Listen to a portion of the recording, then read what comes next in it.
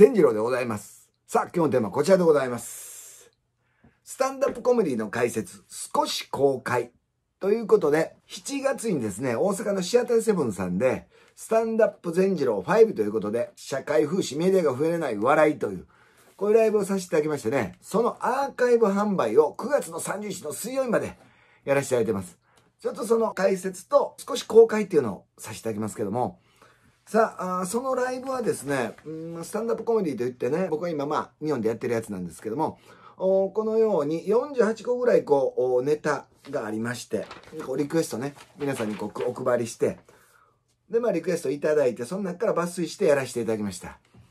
どんなことやったかというとね、その時リクエストいただいたのはね、吉本と警察庁とかね、あとジャニーズ手越の記者会見、ヤクザとブリティッシュジョーク、大阪モデル快進撃とかね、ジョージ・フロイトと上岡龍太郎とかね、オランダと SM 事情、上沼恵美子とカジサックとかね、ベジタリアンとビーガンの違い、ジャニーズと仏教とかね、あと法華経とスタンダップ、コロナ禍でヨーロッパツアー行ってきました。まあまあこれストーリーテイリングやったんですけども、さあ、うん、こういう、まあ、まあ、時事ネタがあったり、社会ネタあったり、芸能ネタあったり、宗教ネタね、セクシャルネタとかっていう、まあまあ日常のネタ、まあ観察ネタもあるんですけども、おスタンダップコメディちょっと説明せんダメなんですけども、こういう、まあ、うん、社会派なこともやります。あと、下ネタもやります。まあ、大人の笑いって、まあ言ってるんですけども、まあ喋り一本で、まあお客さんをこう笑かしていくってことなんですけど、まあまあ自分の思ってることを言っていって考え方を述べていっていっていうね、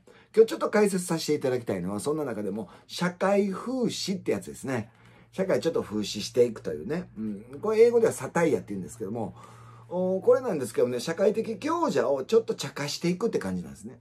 こう、ぼやくでもないんです。ぼやくっていうのはなんか、うーまあ、その上の人がいて、そこでまあ、ぼやく、まあ、ぼやを起こすみたいな感じでね、ちょっとまあ、小言言っていくみたいなとこあるんですけど、独り言ですよね。うん、そうじゃなくてね、うん、まあ、茶化すなんでね、ある程度同じ位置、だから、ちょっと自分が知ってたら、ちょっと上の位置行ってね、まあ、そこからちょっとまあ、うん、まあ、茶化していくって感じですね。ああくまでもこう当てこすりとか、その手法として皮肉っていうのがあって、それはまあその物事と逆の意味を言っていってね。アホって意味やったら、賢いですねって言ったりね。最悪やなと思っても素晴らしいねってこう言っていったりする手法を使っていく、まあこの社会風刺っていうのが、まあ昔日本にも少しあったんですけど、戦後ぐらいからですね、ちょうどもう、テレビになってきた、あとバブル超えたぐらいからもそういうのがもう、ちょっと頭ひねって考えるとかっていうのがもうね、なくなってきたんで、それをですね、チャレンジしてやっております、社会風刺。これね、一回ね、ルール分かったらね、結構面白いんです。どうやって茶化すんかなとかね、うん、いろんなことをこう思いながら見れるんですけども。そんな中、大阪モデルの、ちょっと社会風刺やってますんで、そちらの方ですね、見ていただきましょう。大阪モデル快進撃拍手僕は今ツイッターとかでも大阪のガンガンつぶやいてるんですね。しかも面白いですね、つぶやくとね。例えば、それこそ維新の会がやってることとか、大阪、吉村知事とか、増井市長とかやってること、僕は皮肉ってガンガンこう突っ込んでいくと、大阪の方から、善弘さん、吉本なのに大丈夫ですかって謎の言葉が返ってくるんです。僕よりもなんか知ってる感じが大阪でするんですね。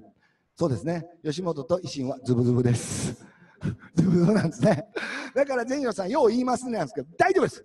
あのね、僕に影響力あったら僕、僕はもっと強かったら、強い立場やったら言えないですけども、もう弱い、弱い芸能界で立場です。でもね、この弱い立場嫌いじゃないです。こんだけ立場が弱いと好きなこと言えるんですね。だから僕はこの位置をできるだけこれからもキープしたいな。だだって言いたいこと言うために僕は芸人になりましたからね。さあ、そんな中、大阪快進撃、大阪モデルってことですけども、頑張ってるな、お前そう、維新の会で、すごい人気ですやっぱり大阪で。これ他行くとね、東京とかでどう映ってるか言ったら、あの、怖いって感じなんです。もうまず見た目がちょっと松井市長怖いじゃないですか。ね。なんか怖いでしょ？なんかすごい。その後に結構暴力団の あのニュースとか流れるんです。どっちがどっちがよう分からなくなってるんです。で松井市長、まあ、皆さん分かりますよね、大阪やったらいろいろテレビ出てるわけですよね。でキャラ、キャラクター化してるから、まあまあ、可愛いなとかいう感じなんですけど、僕も関西住んでたから分かるんですけども、さあさあ、松井市長頑張りすぎ、あの人ね、ちょっと頑張りすぎてると思うんです。なぜならですよ、あの人頑張ってどうなったかというと、覚えてますかね？コロナ禍の時に差別発言したの。すごかったですね。女性の人は買い物にこう時間かかりすぎると。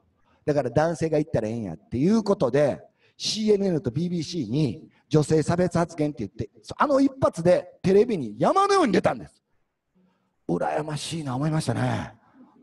こんなオムライスもないですよ。だって僕アメリカとかイギリス行ってですよ。もうそういうステージでですね、ネタしまくって2時間ぐらいしまくって、ようやく BBC のラジオ今回ちょこっと出れたぐらいが、あの人あの差別発言一発で全国ネットに何分も流れるっていう、羨ましいな 松井市長。本当に。でもね、僕はね、あれ間違い思うんです。なぜならですよ。本当に時間かかるのは何かというのは、あれね、やっぱり言うんやったらちゃんと言わなあかんと思うんです。えー、女性の人は買い物に時間がかかりすぎる。いやいや、女性からね、立場が言わせてもらって腹立つでしょ、そんな言われるの。あれ、解説しますね。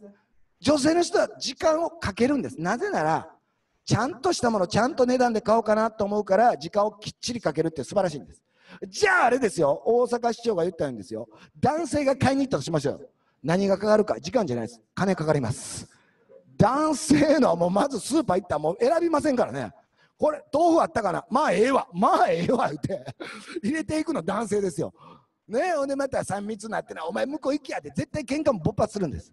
それが男性ですよ。だから時間がかかるのは買い物もそうなんですけどももっとちゃんと言わないとダメです。女性が買い物に行って時間かかるんではなくて買い物行く前に時間かかりますよね。化粧にね。化粧するときすごい時間かかるんですよね。スーパー行くだけやないか、うん、ちょっとやっとくいながら。でも今はいいですよね。マスクあるから化粧しなくて。あとそれからあじゃあ車で行こうで車で行っても大体女性の人は時間かかりますよね。駐車に。まあこれもお前の方が差別発言やないかってことなんですけども。まあまあまあそういうのがあって。あとそれから吉村知事です。吉村知事もすごいですね。頑張ってありますよね。大阪モデルなんて立ち上げてね。いやー、ほんで、何ですか、あの、新しい薬作りました。私が1号として試してもいいですけど、ありえもせんこと言うてね。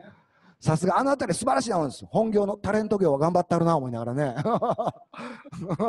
本業はタレント業ですよ。ね？政治としては何やってるかよう分かりませんけどもね。で、まあ、あのね、人が言ったのが大阪モデルっていう、大阪モデルのあれ、何のモデルあれ？なんか、天童よしみさんが歌いそうじゃないですか。大阪モデルやでみたいな感じで。